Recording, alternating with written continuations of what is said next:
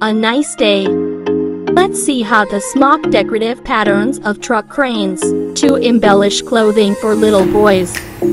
Use double threads to stitch. Pay attention to embroidering in detail exactly. Make each stitch meticulously and carefully. Use a needle through pleats and pull thread straight.